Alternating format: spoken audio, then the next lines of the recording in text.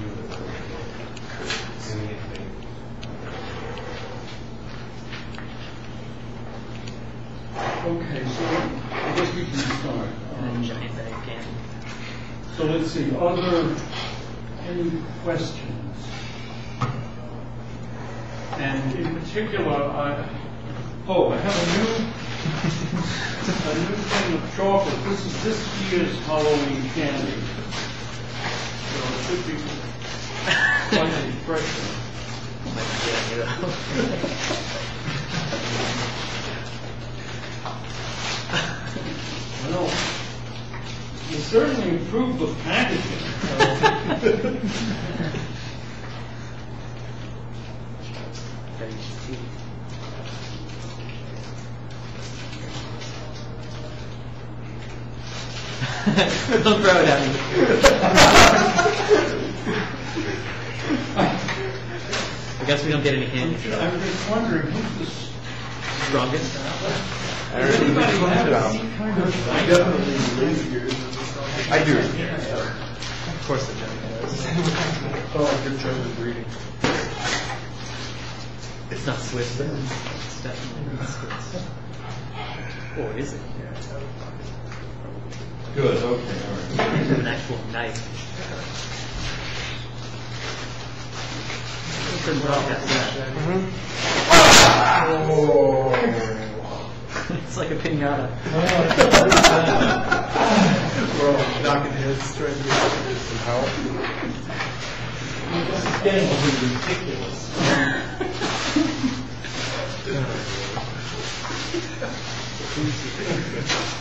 All right.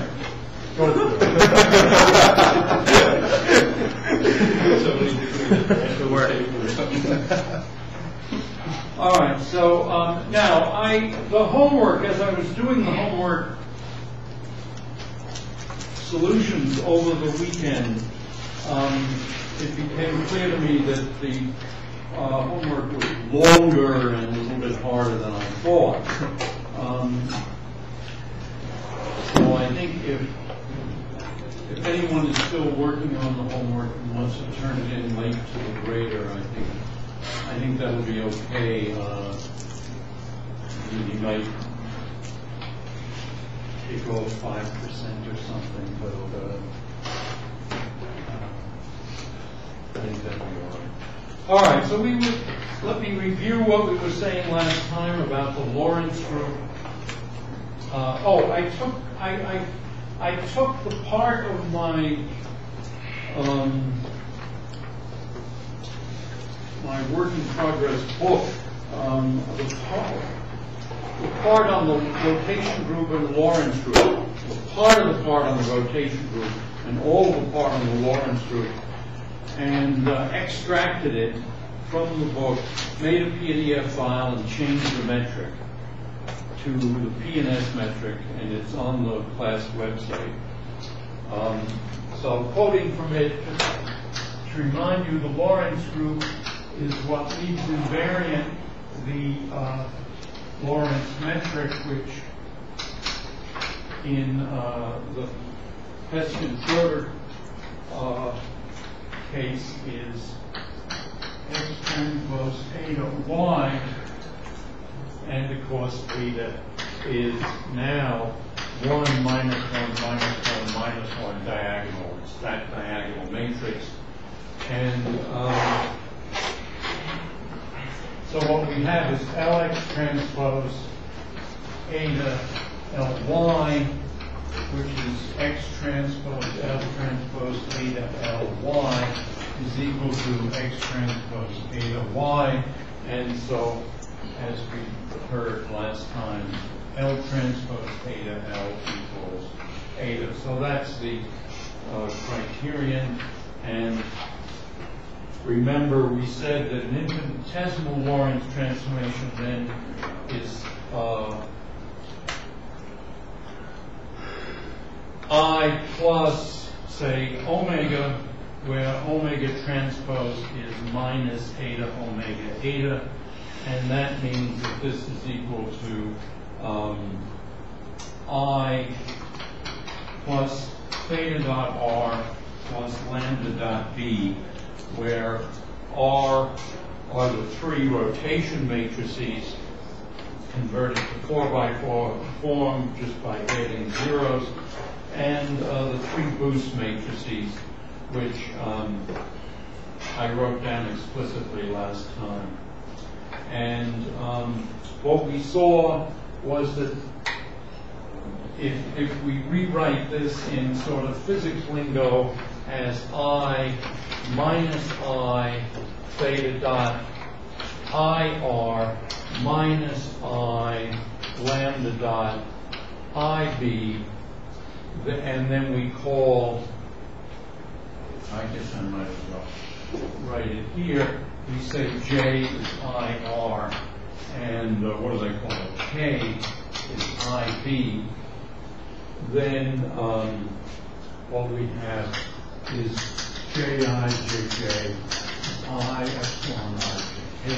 K, these are the angular momentum commutation relations.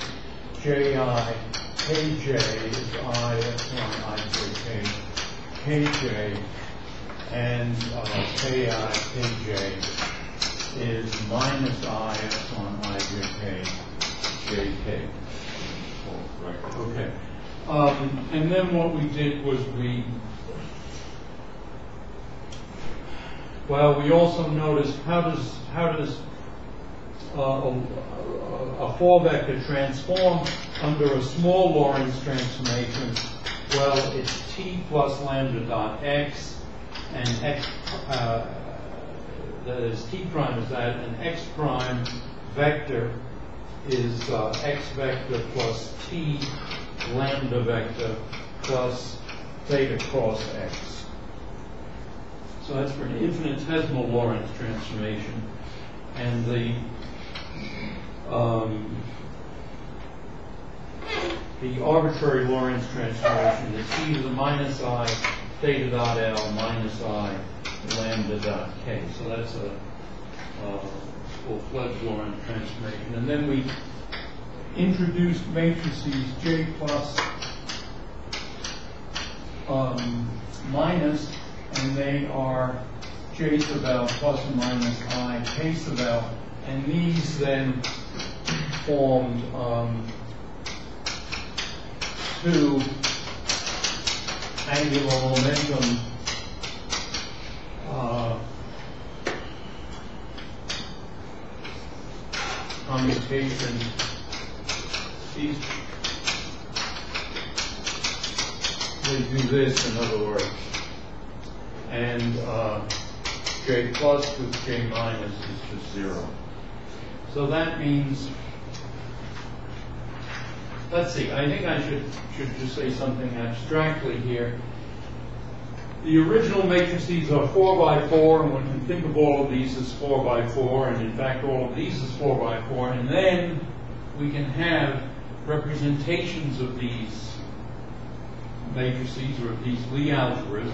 In particular, in Hilbert space, if this is the 4 by 4 matrix, this will be a unitary operator representing this 4 by 4 matrix. This will be infinite dimensional.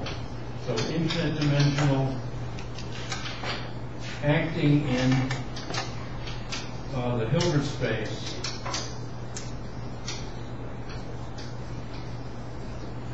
Um, But we can also have finite dimensional representations, but they're not going to be unitary, and where, um, since these, these two Lie algebras, the J plus and J minus are independent Lie algebras, we can have um, these as J and J prime of L, and these will be 2J plus 1 by 2J prime plus, well, these actually are the direct product of the 2J plus 1 by 2J plus 1 times a, uh, let's see, I'm, I'm getting a little ahead of myself here. Um, this thing is the direct product of dj with dj prime. And so that actually then is this big. It's a square matrix that's, um, if this is, in other words, two by two, and this is two by two, then the whole thing is four by four. So this matrix is this big, whereas this one is two j plus one by two j plus one, and this is two j prime plus one by two j prime plus one. So that's the, that's what these, um, look like. The order here is that the, the J corresponds to a J plus type, J is the j plus. and J prime is J minus. Yeah. And I'll try to throw these things on a hierarchy. I don't hit anybody in the head.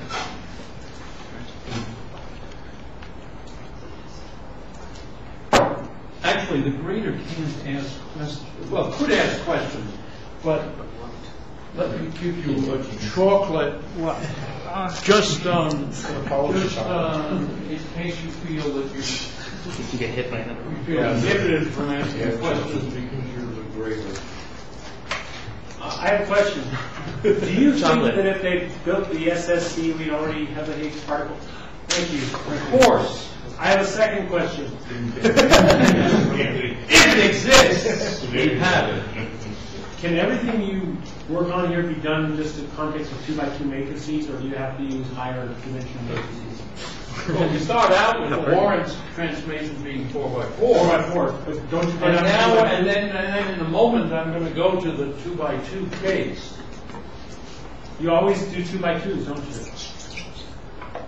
Well, they're the simplest non-trivial representation of the Lorentz group. Isn't that what I think? I only know one.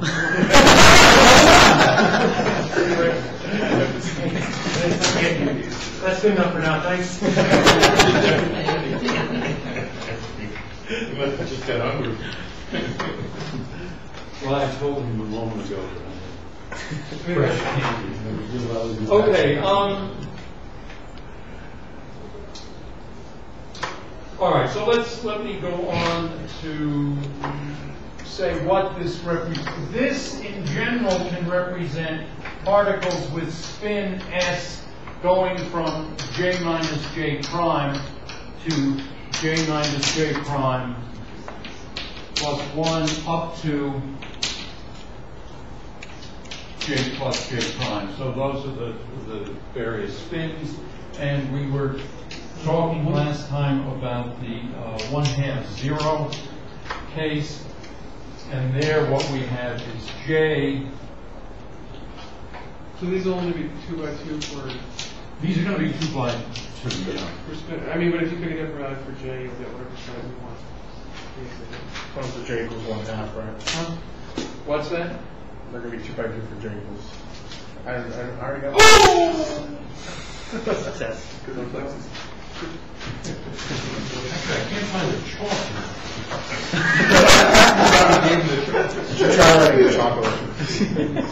Okay, uh, by the way, in this representation here, J is represented by J plus plus J minus, and K is represented by minus I, J plus plus I, J minus. So, uh, this is Hermitian, and this is anti-Hermitian.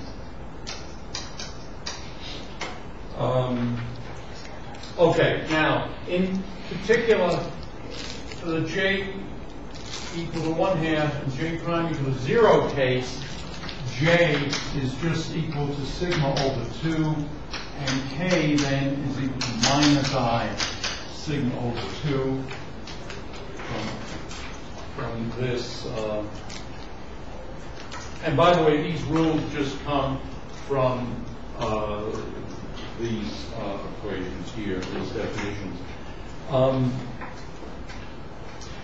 And uh, the Lorentz transformation then, that's e to the minus i beta dot j minus i lambda dot k, that one is going to be called d one half zero of theta and lambda, and it's going to be e to the minus i theta dot sigma over two minus i lambda dot, well, no, minus, this- the i's give us lambda dot sigma over two. So this, since these are Hermitian and there's a minus sign here, this, this part of the matrix is not unitary, but this part represents rotations and it is unitary.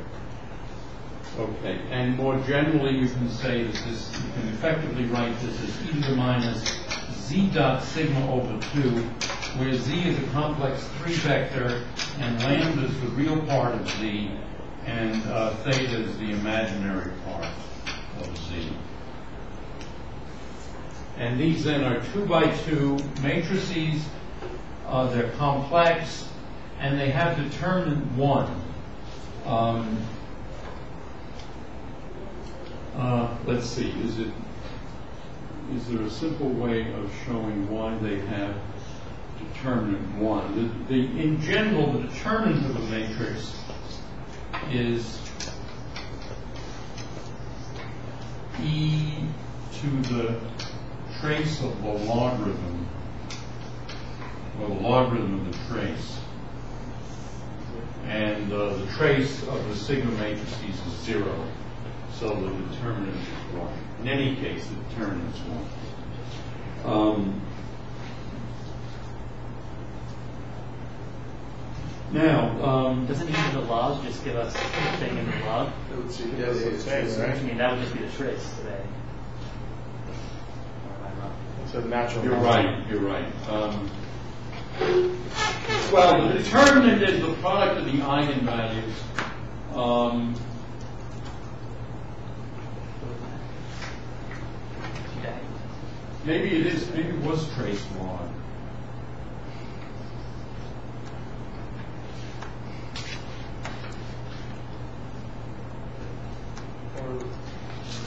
What is the natural log? Well, this is the product of the eigenvalues. If you imagine this thing as a diagonal matrix, then um, Just makes it which matrices plus. this is just Concentration. e to the trace, the log. trace of linear. Doesn't this just give you the product of the eigenvalues all over again? You know the sigma matrices are uh, Traces. Herm- Hermitian too, right? They're Hermitian and trace. So then you have to have a unitary if it's e to something that's a Hermitian, and then a unitary will. This, Well, so this part is unitary and this part is non-unitary. Um, right. And, um,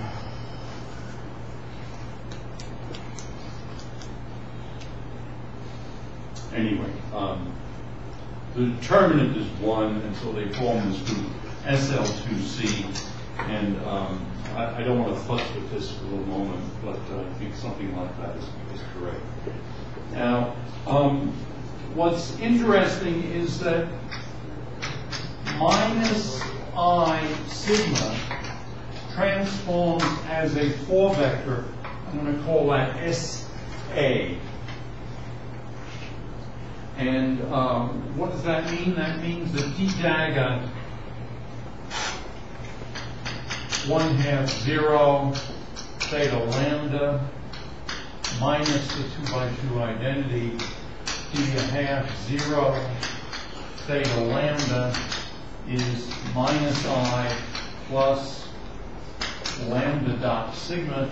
And to see why this is, this is for infinite this transforms as a four vector under this, but I want to do this just for infinitesimal lambda and sigma, and so this is um, e to the, to write it simply, it's e to the minus z dot sigma over 2 minus i, and then it's the adjoint of this, so this is e to the minus z star dot sigma over 2, and so this is minus 1 minus z star dot sigma over 2 minus z dot sigma over 2, and so this is minus 1, or, or better yet, it's minus 1 uh, plus a half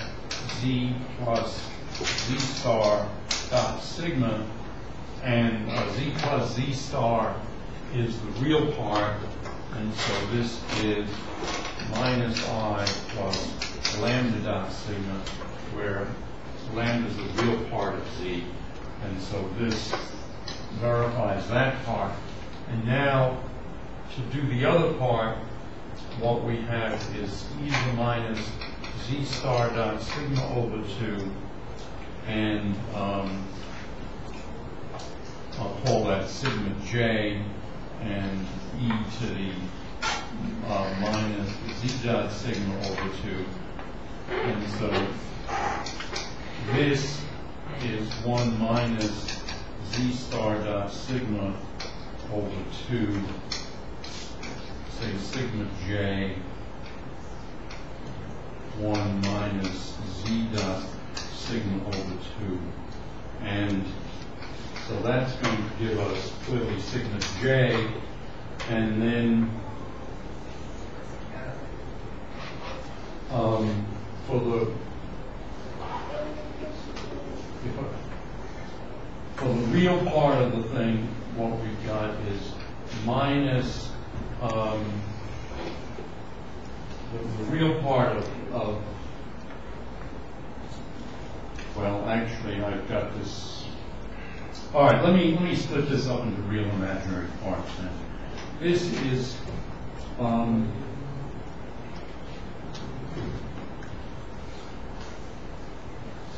minus i theta dot sigma over 2, and then minus lambda dot sigma over 2, and then this is adjoint of that, so this is plus i theta dot sigma over 2, um, adjoint, so it's just minus lambda dot sigma over 2. And so that's mi- uh, plus i over 2 theta i um, sigma i commutator sigma j to the theta part, right? And then the rest is an anti-commutator of sigma j to sigma i, which um, is in fact, all right, so let me just write it as minus, I'll write it as lambda i over 2, the anti-commutator sigma i with sigma j. And this is 2i epsilon i j k theta k. And this is 2 delta ij. And so altogether, that should be um, uh, sigma j. We want this to be sigma j minus lambda j plus theta cross sigma. Well, this gives us lambda j because this is 2 delta ij. And this is, the 2's cancel, It should a sigma. Yes. And I don't like that minus sign.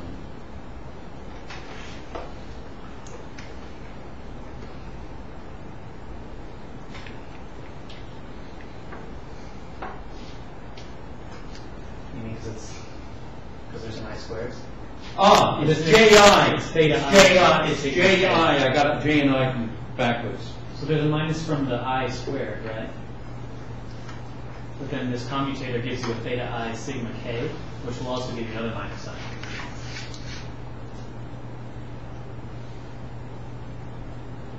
All right, let's do it a little more carefully with more chalk. Boy, it's hard to find the chalk for all these things, and I owe you a.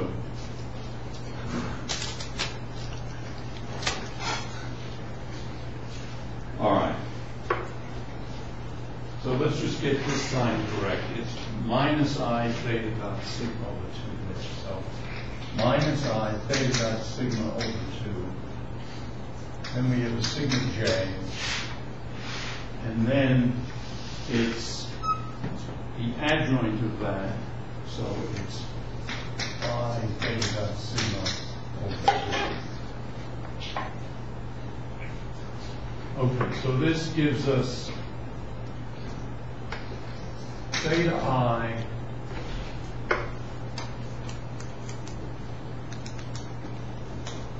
Oh, um, I'm, I'm doing this wrong. It's, it's, it's, a- it's of course a one plus this and one minus that. So what you get is the sigma j and then plus i theta i over two sigma i times theta sigma j which is sigma j plus i theta i over two, two i upon i j k sigma k. And so this is sigma j minus, um, and then it's theta i epsilon i j k sigma k. But, um, if you, you can absorb this if you change that to ji, and that is sigma j plus theta cross sigma j. In other words, you have to commute this one. So altogether, um,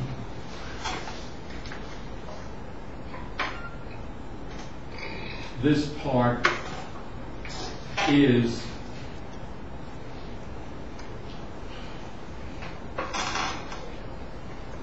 well, let me just, it's E dagger sigma D is sigma minus uh, lambda times I, or it's, it's better written as minus I lambda plus theta cross sigma. All right, so that's, so it transforms as a four vector. That's for an infinitesimal transformation. More generally, d dagger, one half zero for a full scale Lorentz transformation. SA d of one half zero L is going to be LAB SA, where SA is minus I sigma. Why are we looking at this SA object? Well, And it's why- why is it minus I just want to say that it's a four vector. Why, why minus the identity instead of just the identity? It's just way, it's the way God made the world. Cool. What is, is Was that, that a, is that an inner product or? Oh, no, is that like, here. In the case of, in the case of zero one half, it'll be, plu- it'll be plus. Oh. Okay. All right, now, the reason I went through that in detail is, how does a, um, how does a two-spinor transform the Lorentz transformation? Now, this is the unitary, this is the Hilbert space, this is the field operator. It's going to be d one half zero of L inverse C of L of x. So this is how we want the thing to transform. And I'll be saying more about why the field transforms this way because of the way the particles transform in the Lorentz transformations next time. What- But let me just Is there a question? Yeah, when when you write essay, is that like two components of a vector, or what, what do you mean by this kind of? It's an error product. right? It's just a vector, Sigma, or is it an sigma, inner sigma, product? sigma. Huh? No, it's not an inner product. It's just a vector. Yeah. Okay. Okay. Four. Okay. Yeah, so this is a four vector, minus I, the, the, the component, components of the four vector are two by two matrices, minus I, and then sigma one, sigma two, sigma three. yeah. That makes sense. The Okay, now, this is called a left-handed Weyl spinor.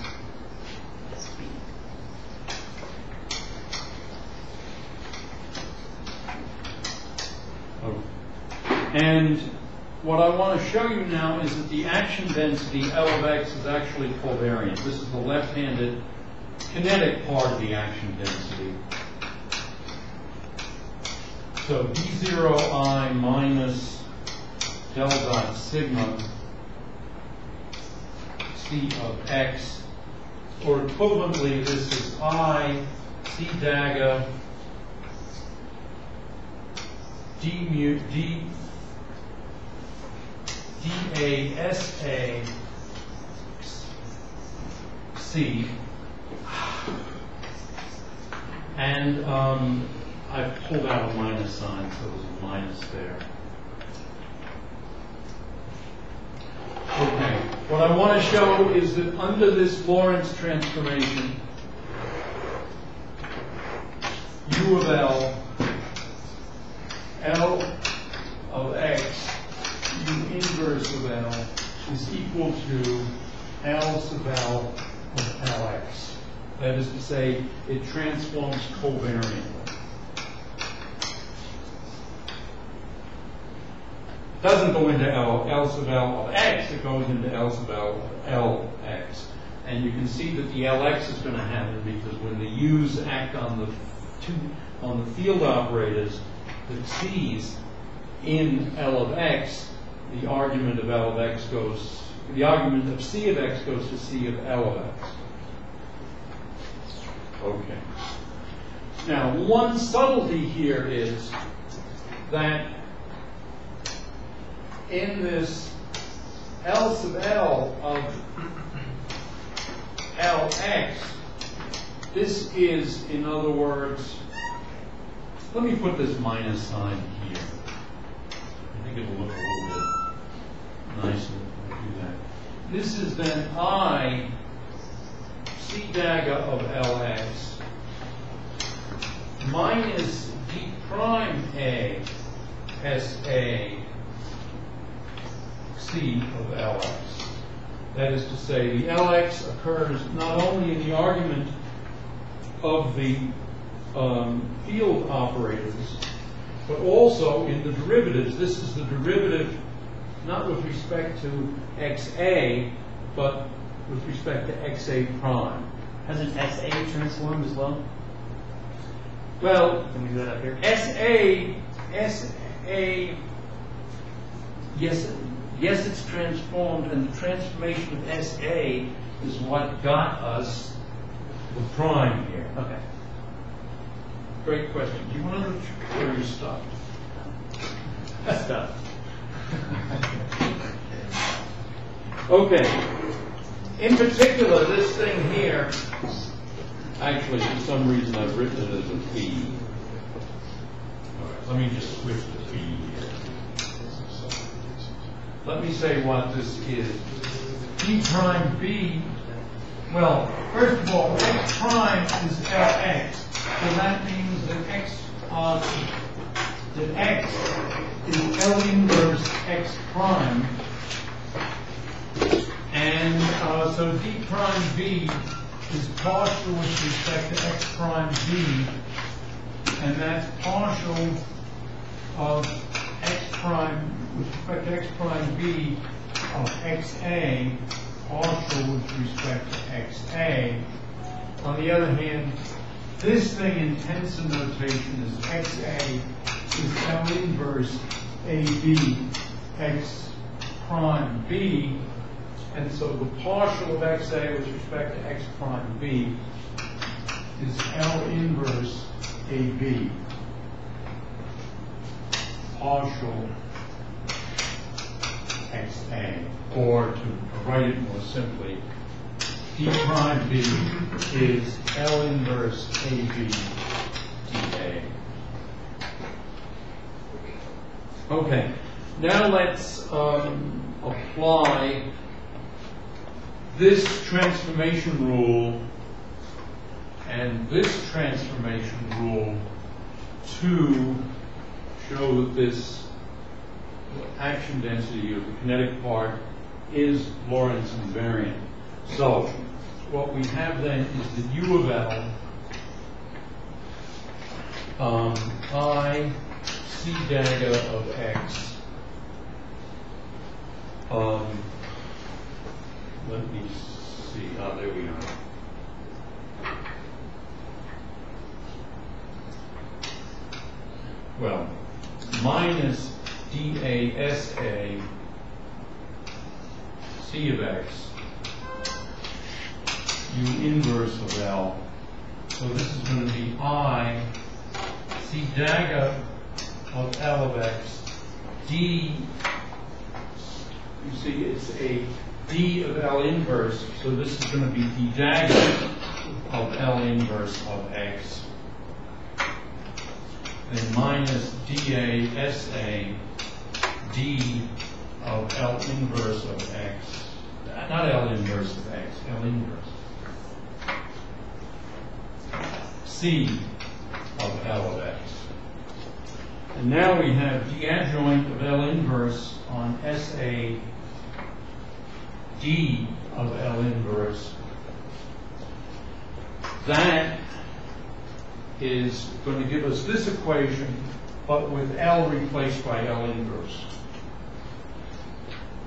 So in other words, the dagger of L inverse, SA D of L inverse is L inverse AB SB. So the complicated part of this, these matrices, just give us I C dagger of L of X minus dA. Now we have L inverse AB SB C Lx. But we just saw that L inverse ABDA, which is L inverse ABDA, written backwards, is D prime B. And so this is equal to I C dagger of Lx minus D prime B SB Of Lx. So you see, and this of course is I L of Lx. So that's what's meant by the action density being Lorentz invariant. So the D's are only going to conjugate other sort of objects that are composed of two by two matrices? Because by so my question is why the the partial derivatives don't don't see that to begin with. Well, let's let's let's understand what's happening. Mm-hmm. We have a unitary operator that acts on operators, mm-hmm. so it transforms the field operators into D times the field operator at the other point. And it transforms this S object. And what? And it transforms this S object. Well, no, it doesn't really transform the S operator. The unitary transformation transforms The field. the fields. And so the, the effect was limited to this and this, whereas this part, minus DASA, is invariant. Then the matrices, the matrices transform the SA part.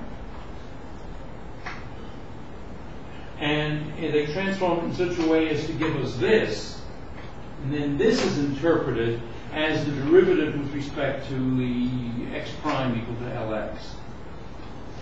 But I mean, what you said is probably also true. I'm fine with the Okay, last Your, your- your way of saying it is. I guess I didn't Okay. realize that from that first line to the second line, we now have, we've got Ds instead of, instead of the unitaries.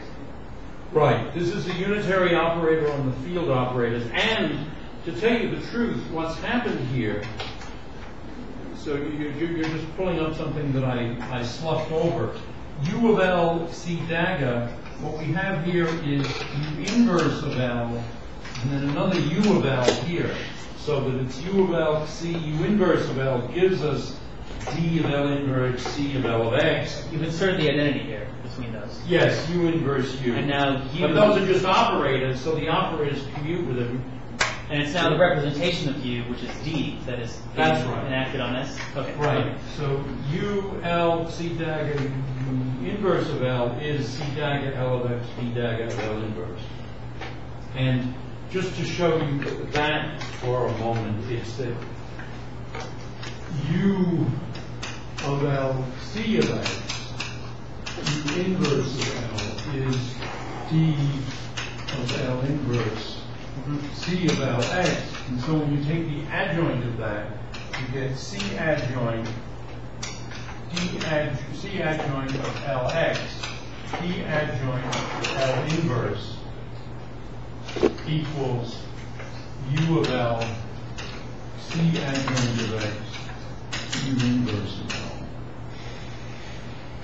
And, and these, the U is unitary, so U inverse, U adjoint are the same thing. So this four vector that you have over here, if I found the four vector from any representation of the SU2, everything should hold Could you speak a little slower? I, So- I, I gotta process the accent. So if you have the, the four vector that you found from the SU2, right?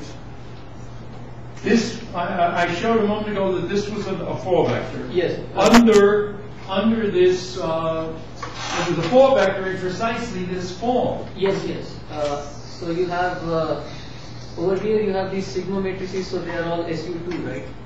Yes, the- the- these are three sigma matrices and then a minus. Yeah, so I can, I could do some higher order representation of the SU2, and then I would have, uh, have this, so instead of a D half, I would have some other corresponding dimension matrix, right?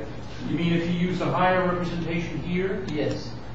Yes, and you could do that, and then you'd have to put something different here. Yeah, so I would use a different representation of SU2 in, in, instead of. Or, uh, sigma you, you you mean of SL2C? Yes, it is. Okay.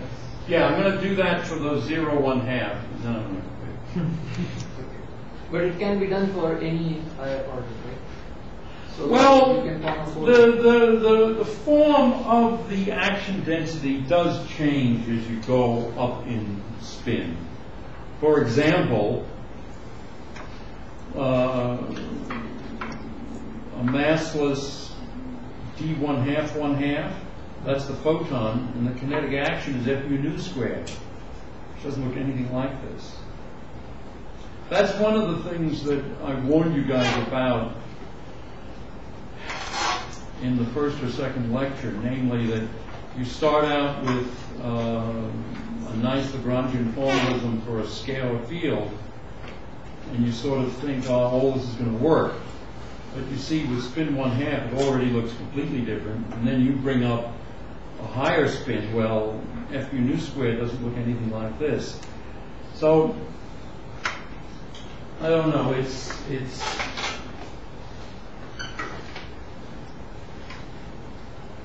It's, uh, it's a rocky road. Um, I suppose if we were doing these things in supersymmetric notation, it would all look more uniform. Do that. Um, But it would also be more confusing. Um, So let's, let's just learn this part first. All right, so we've, we've got that this is uh, Lorentz invariant. And in particular, the way these derivatives transform guarantee that the divergence uh, is Lorentzian, or Lorentz covariant, I guess I should say. Because that's D prime A, B prime A, and so that is dbl inverse BA and you see this is just uh, dB delta BC VC, which is just DB, VB. So the divergence is invariant. Um, now, did I, I don't know if I went through this last time, I don't think I did, but it's probably worth doing even if I did. Um, what's the equation of motion for this uh, field?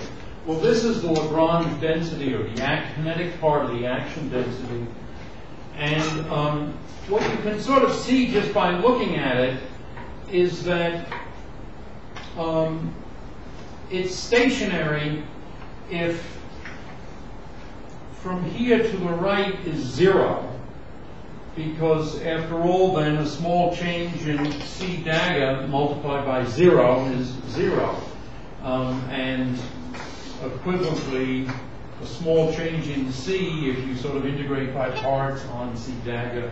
All right, so anyway, the equation of motion is d zero i minus del dot sigma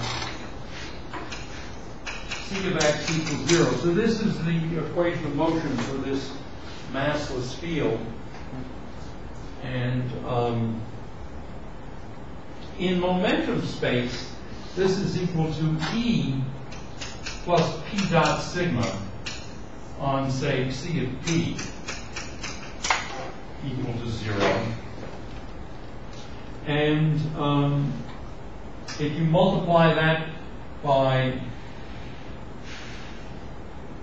E uh, minus P dot sigma from the left, you get E minus P dot sigma E plus P dot sigma C of P equals zero. Well, this just gives you E squared minus P squared E vector squared C of P is zero, and that says that uh, E is the length of the vector P, which is to say the particle is indeed massless. Um, remember, though, that uh, in the standard model before symmetry breaking, all the fields are massless. So having particle masses is a good place to start. Um, I'll add in the mass term in a minute. We've seen the mass term. Anyway, so this equation tells you then that um, the length of P is plus P dot sigma on C of P is zero. Is there a question? Is, the, is it Lorentz symmetry that's being broken, or is it the translational symmetry that's being broken when With, with the, with, when you add mass, well, she's certainly not breaking Lorentz yeah. invariance. So you're you're breaking the And here, here, uh, you're not breaking translation, you're not breaking anything when you, you, what you break when you add, well, let's put it this way. If you add mass here to this theory, you're not breaking any symmetry, you just add this, uh, a mass term, which I mentioned last time, and I'm gonna do again. Uh, what do I want to say? In the standard model, what happens is that a particular field, the Higgs field, when the Higgs field has a mean value of zero in the vacuum, the energy is positive, distinctly positive. And so you, the system would lower its energy by having the Higgs field assume a value in the vacuum that is different from zero, and in fact is a value that's of the order, um, the order of 100 GeV. And um, when it assumes that value, then all the particles get mass. And, um, or at least almost all. And, all right, so what is this telling us? This is telling us that p hat dot j, which is uh, on C, which is to say p hat dot sigma over 2 on C is equal to minus a half C. Okay, so this is telling us that C is an eigenvector of, this is called the helicity operator. Well, not really operator, well, part operator. Helicity, um, and you see the helicity is minus a half. The helicity is the projection of the angular momentum in the direction of motion. Is that why this is left-handed? Yeah, that's why it's left. You want some more? By the way, the rest of you guys can ask questions and get candid. So I just get my way. Did anybody ask a question and not get a candid? I sometimes get get involved more with the question than with the answer. Okay, well, we saw last time that a Majorana mass term is uh, of the form minus m c transpose sigma 2 c and then minus m, the Hermitian conjugate of this, which is uh, c transpose sigma 2 c um, and I went through quickly at the end of the hour why this was Lorentz invariant. Did, does, does anyone want to see that, or did I do that in enough detail at the end of the last hour? I don't really remember it, so. You want to see it again? Uh, I'd like to.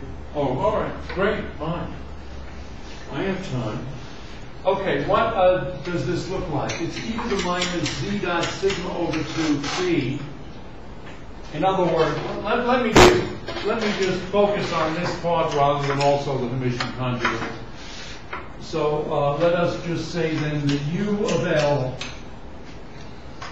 and let me let me leave out the m also, since it's a constant. C transpose of x, sigma 2, C of x, u inverse of L. What is it going to be? Well, that's going to be C transpose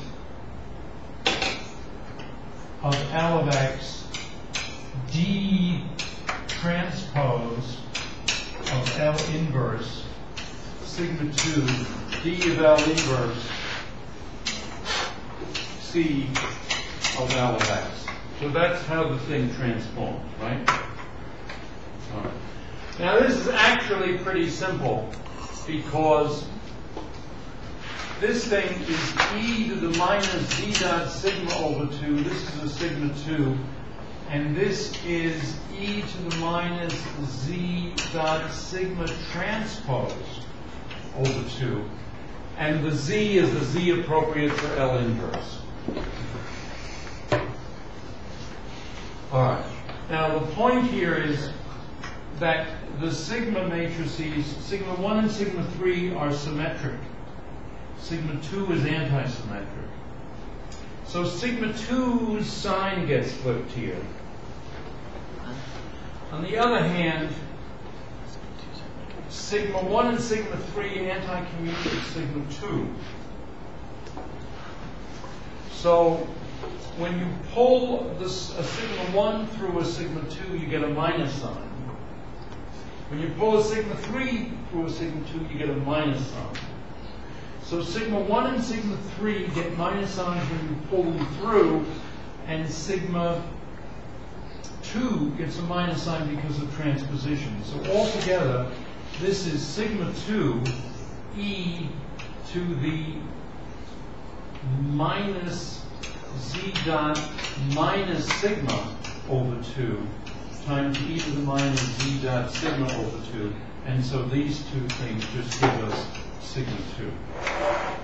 So this then is just C transpose of L of x sigma 2 C of L of x.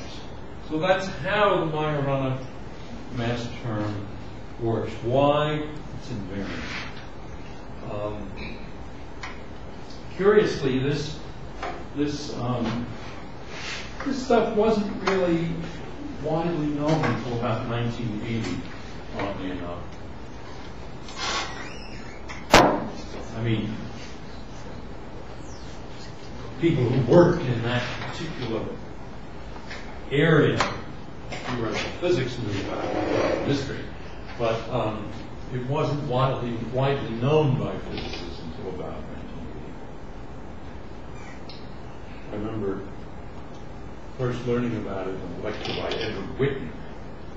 Um, And uh, this was at a conference where everybody was giving lectures, packing as much as they could into each of their lectures. And people were sitting there and just being sort of washed out with all the detail.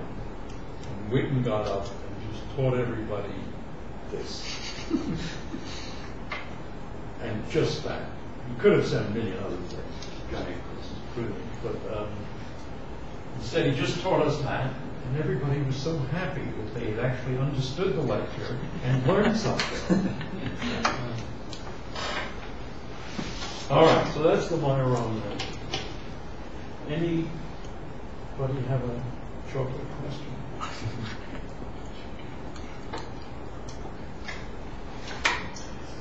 Okay, well, this was uh, so- so much for one half zero. Now, if we go to zero one half,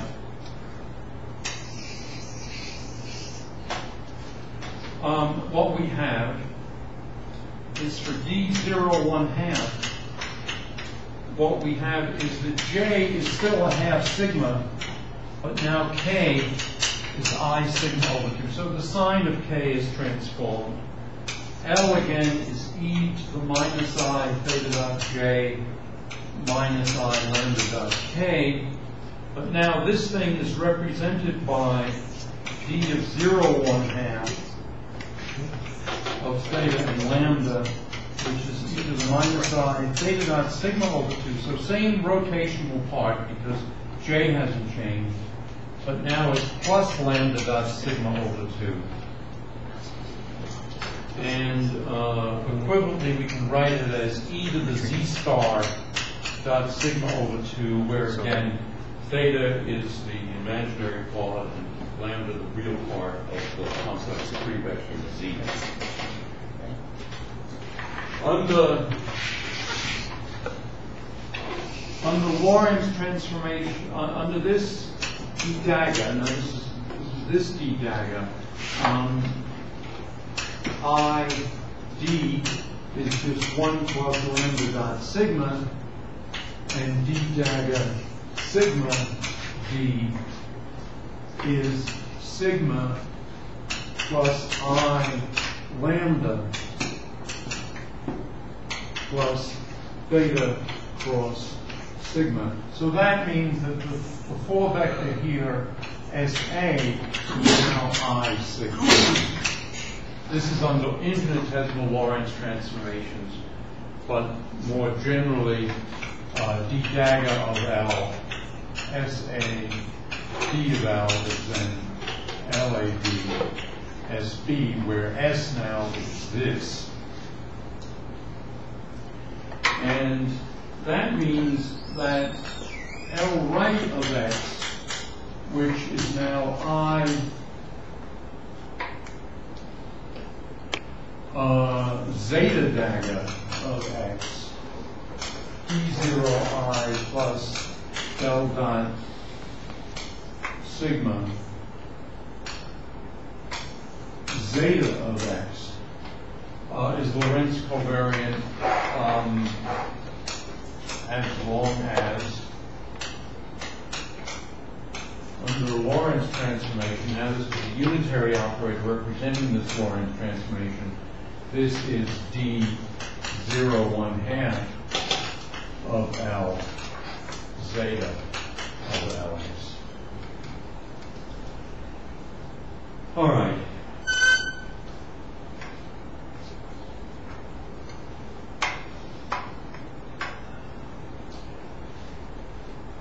Now, the wave equation, since that's the action, the wave equation is E zero I.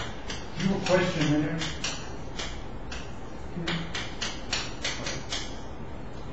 So in momentum space, this is E minus P dot sigma zeta uh, of zeta of P.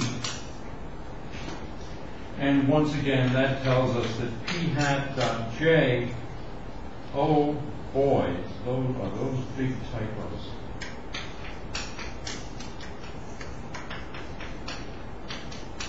This tells us that the helicity is positive, so this is a right-handed field.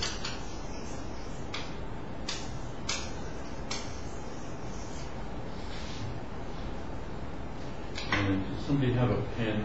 that I can-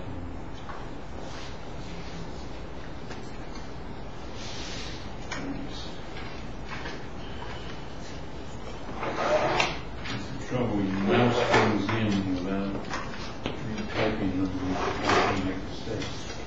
Okay, so that uh, transforms that way. Now, what, this is saying, by the way, in the case of the real world, where we have neutrinos, um, this says that this is the way neut- neutrinos transform. Neutrinos are nearly massless, and so they're nearly left-handed. Over here, antineutrinos transform this way, and antineutrinos are nearly massless and nearly right-handed. And the Majorana mass term now is the same. It's zeta transpose sigma 2 zeta with a minus m plus a mission conjugate. So this is the, the mass term in this case.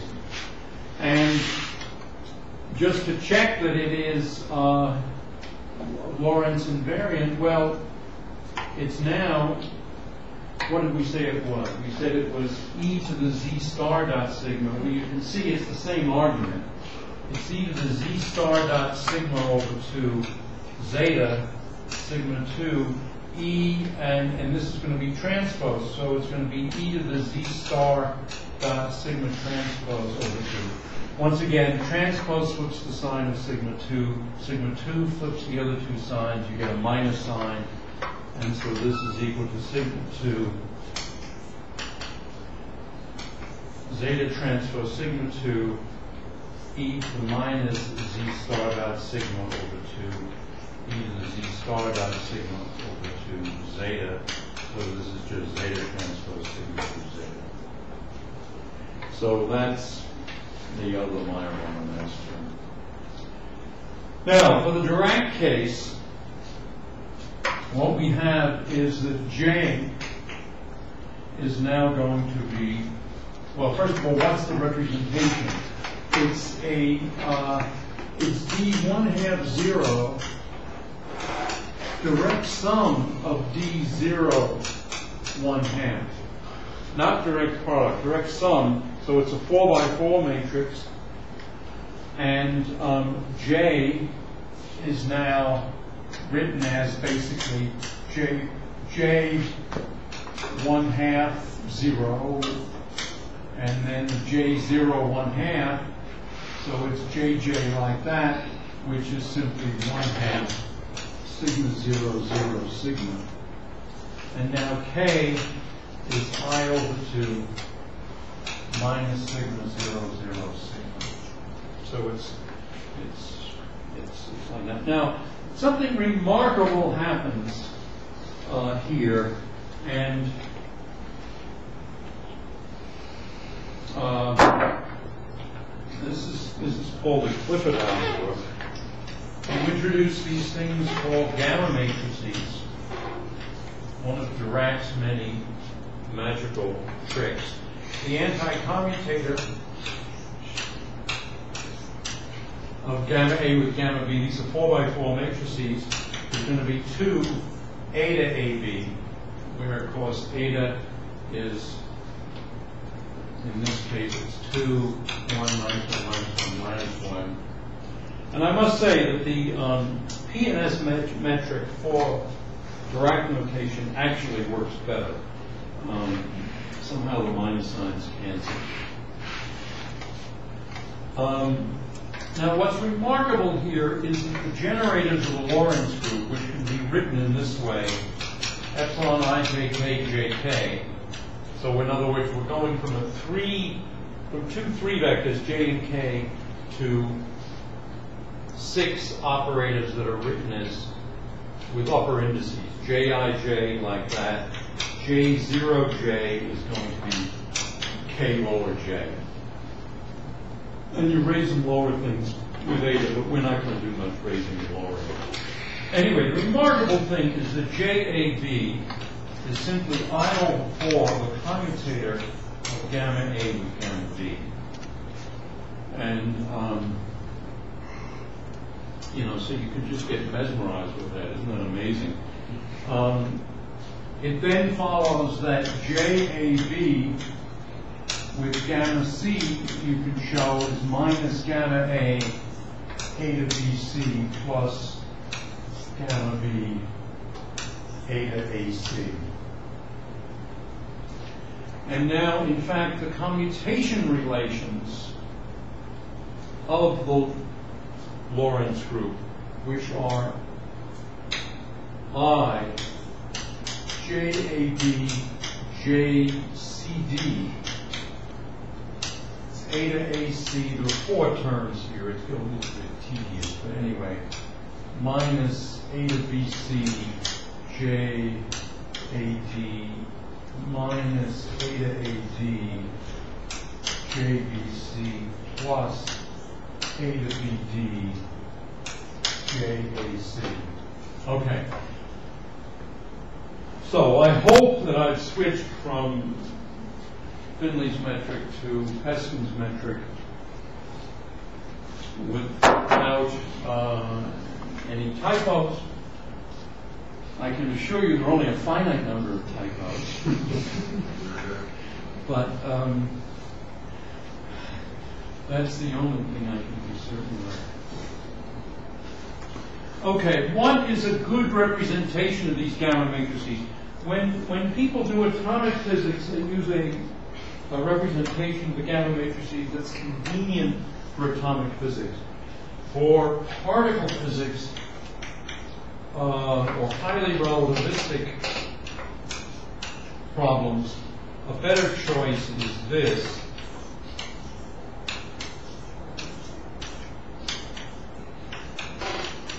That is to say, gamma zero is just this sort of cockeyed identity matrix, and uh, the gammas are sigma minus sigma. Um, now, what is the definition of the gamma matrices? The definition is there are four 4 by 4 matrices that satisfy this rule. The anti-commutator is 2 eta alpha, but 2 eta AB. Um, in fact, if you have any set of gamma matrices that satisfies this, you can have another set, gamma A prime equal to S gamma A S inverse, where S is any 4 by 4 matrix. So once you, so given this set of gamma matrices, you have infinitely many others generated this way.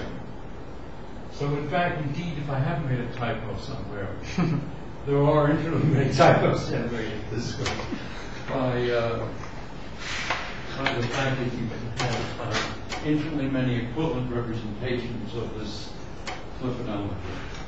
Anyway, no matter what the gamma matrices are, I over 4 times their, the commutator gives you a J that satisfies this commutation relation and gives you the commutation relations of the Lorentz group. So it's a really remarkable structure. But the nice thing about this choice is it allows us to keep the one half zero and zero one half parts separate. And um, I see a little bit of black blackboard back here. I'm going to go back here. Um,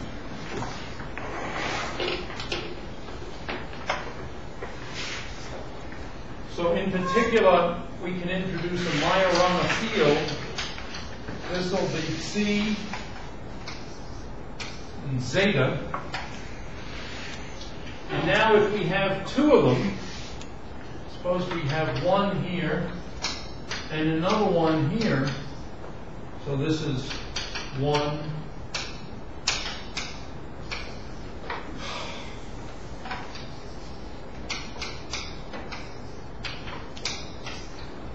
Two. We can combine them if they have the same mass. We can combine them, and uh, we can combine them to form a Dirac spinor which is just 1 over root 2 psi Majorana 1 plus I psi two Majorana, like that. And we can write that as a C So this is a, previously I was talking about a particular C. You can have C1 plus I C2 and zeta 1 plus I zeta 2, like that. Now, what is the action for the Dirac um, bispinor, I guess you can call it? Well, it's L is equal to psi bar So am I right in thinking this is sort of analogous to when we had uh, two real fields versus a single scalar? Yes, yes, yes, yes, exactly. Psi bar I dA gamma A dA minus M psi. Where here I put in what's called a Dirac mass term. So this is a Dirac mass term.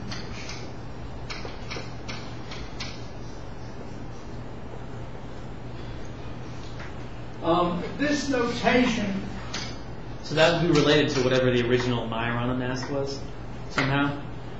Because we said they had to have the same yes, mass. You can, you can, you can in fact, yes, you can write the Dirac mass terms as Majorana mass terms.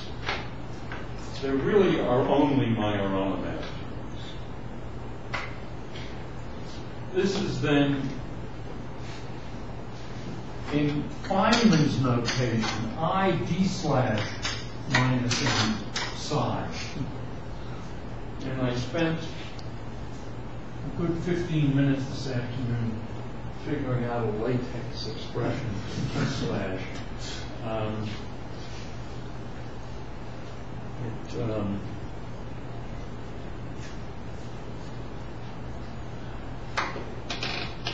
if any of you want to know, come down to my office and I'll show you what it is. Um, what is psi bar? Psi bar is defined as psi dagger gamma zero.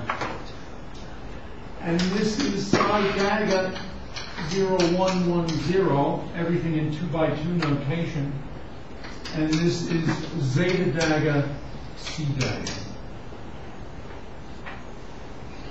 And this kinetic action up here is just equal to the sum of the two act, two kinetic actions we had before, namely, ah, I see I have a typo here.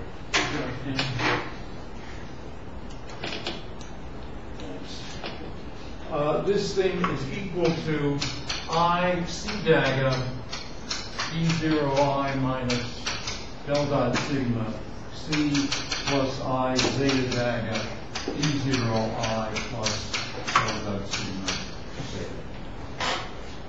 And the Dirac mass term, which is minus m psi bar psi, is minus m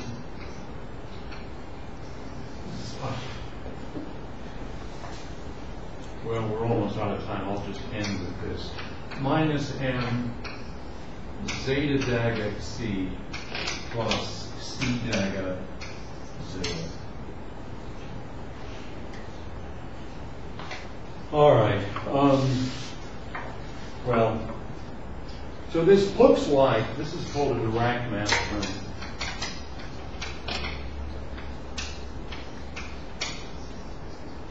And it looks very different, but um, well, next time I'll show you how to write it in terms of Majorana mass terms. I guess that's enough for today. Any questions?